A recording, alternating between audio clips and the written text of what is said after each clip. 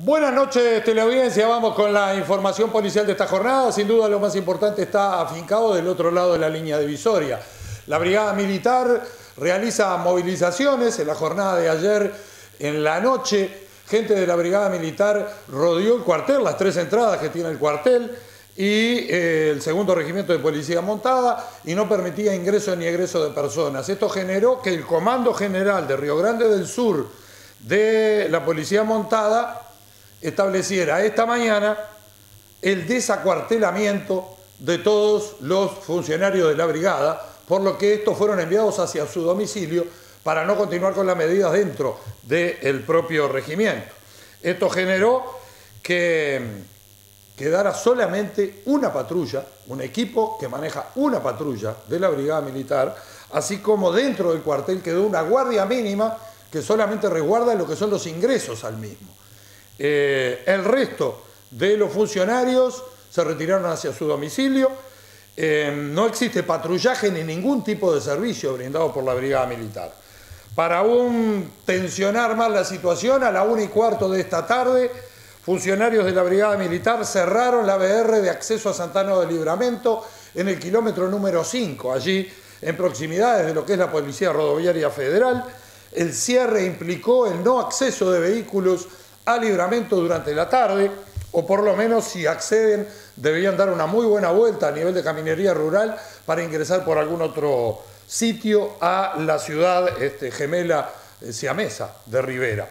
Eh, una situación muy tensa la que se vive en Brasil con las medidas de la Brigada Militar. Este cierre de ruta iba a ser acompañado por el orden docente, también por los profesores. Recordemos que este mes el salario nuevamente fue parcelado de los servidores públicos de Río Grande del Sur. La primer cuota es de 600 reales, el mes pasado habían sido 1000, esta vez son 600 reales, lo que sin ningún lugar a duda tensiona aún más la situación que se viene dando en la vecina ciudad.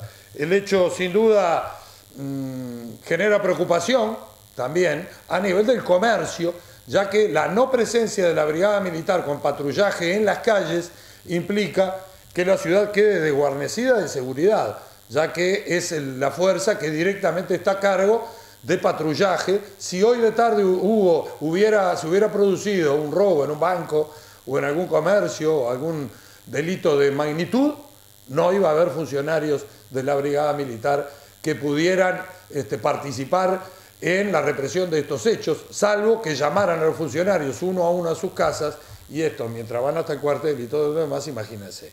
Es preocupante la situación y la misma en principio y por ahora no tiene visos de que pueda ser solucionado. En jurisdicción de la novena se produjo un incidente en la jornada del domingo en horas de la noche.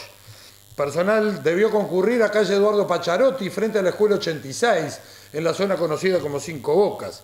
Allí un hombre fue golpeado por otros este, en primer lugar, había dos jugando a la taba, llegó un tercero, este, se discutió con uno de los dos que estaba jugando a la taba y lo invitó a pelear, a lo que eh, la persona se negó.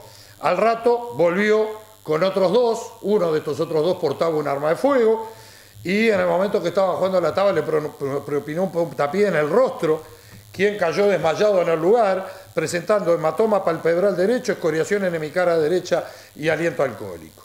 En la jornada de hoy fueron citados a declarar las tres personas que participaron, de, eh, que acompañaron al agresor, las dos personas más el agresor, y eh, también declaraba la víctima. Eh, se dejó a todos, las dos personas que están detenidas y hay una tercera que está requerida, quedaron todos a disposición judicial y hoy duermen en capilla en la comisaría. Otro hecho mm, que se, había, que se inició durante el pasado fin de semana tiene que ver con un hecho de BEPRA. Personal de la BEPRA em, recibió una denuncia de un hombre de 62 años que vive en una chacra en Cerro Carancho respecto a que ingresaron a su chacra y le robaron cinco gallos. Esto lo dábamos ayer. Eh, había dos personas detenidas por este hecho, o sea que fueron indagadas por este hecho. Eh, citados e indagados en la BEPRA, en total se trata de cinco personas las que deben declarar por este asunto.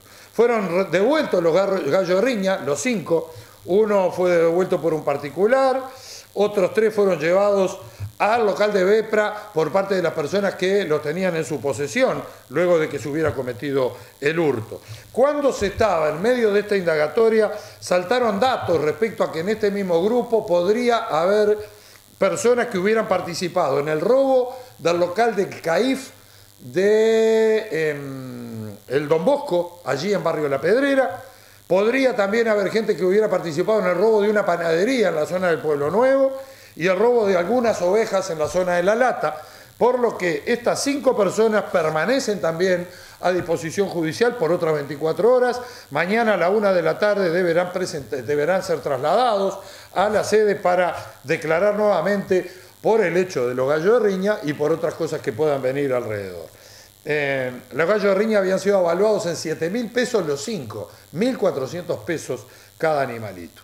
Eh, reitero, estas personas también quedaron en capilla. En Bepra, de un campo en Las Flores, avijaron un, un borrego, el que, del que dejaron el cuero en una zanja en la zona donde se produjeron los hechos. Vamos ahora con temas vinculados con un siniestro de tránsito con consecuencias severas para sus protagonistas en Cuaró y Rodó ayer a las 7 y minutos de la tarde. Eh, dos motos, una Winner Strong circulaba por Cuaró al norte, al llegar a Rodó pretendió doblar a la izquierda y venía por Cuaró al sur otra moto. Colisionaron en la esquina, la conductora de la Winner Strong resultó politraumatizada leve con traumatismo de miembros y fractura en pierna derecha.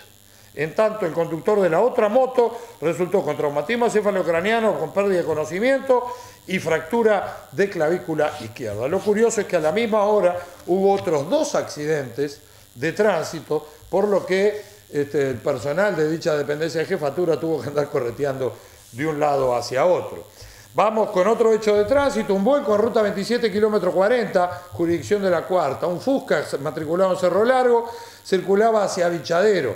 Aparentemente por la variedad de pozos que hay en el camino, el hombre pretendió este, esquivar unos pozos, terminó volcando el Fusca. La acompañante, una señora de 39 años, Silvia Tejera, que está embarazada, resultó politraumatizada, según los datos que se nos aportó en eh, jefatura. Un hombre estuvo detenido, declaró y fue liberado por su presunta participación en algunos hurtos en jurisdicción de una persona que había sido detenida en jurisdicción de la décima. Por otro lado, en jurisdicción también de la décima se detuvo un hombre con antecedentes por parte de investigaciones por su presunta participación en rapiñas, también fue liberado luego de la instancia respectiva. Robaron un celular en la escuela 140. En la escuela de Anoyes y Figueroa, a las 10 de la mañana, los gurises salieron al recreo. Cuando volvió uno de ellos, un niño de 10 años, había dejado su Samsung Galaxy en la mochila y cuando retornó no estaba el celular en la mochila. Eh, otro accidente, perdón. Frente al polo, esta tarde, una camioneta para ti. Un hombre salía de una reunión, se había tomado unos cuantos este, alcoholes, según se nos indicó.